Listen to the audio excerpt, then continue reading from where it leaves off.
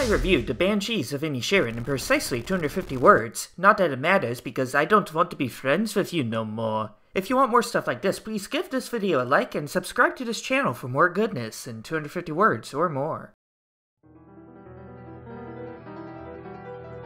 Bruh, I didn't think this movie would get me this depressed on Halloween weekend, what the? The Banshees of Inisherin is about two friends in a rural and insignificant small town, and chaos brews when Brendan Gleeson's Colm abruptly decides to stop being friends with Colin Farrell's Patrick. This does not seem like the kind of premise that could sustain a full movie, but it does. Playwright turned filmmaker Martin McDonagh delivers a phenomenal screenplay that squeezes every drop out the story, cow.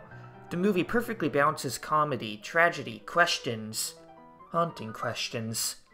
For the drive back. I'm okay. The performances are great. It is difficult to choose a favorite. Farrell and Gleeson will rightfully get the praise they deserve, but I hope Kerry Condon and Barry Keoghan do not go forgotten. I can't believe this village idiot is playing the Joker. The range on this guy. One could interpret this movie many ways. Perhaps it's an allegory for the Irish Civil War, or maybe it's an exploration into what makes a life well lived. Maybe it's just an artsy breakup story, but I think it had a lot to say about what we owe to ourselves, what we owe to others, and what happens when those clash. I loved the movie right after having seen it, but it grows on me the longer I think about it.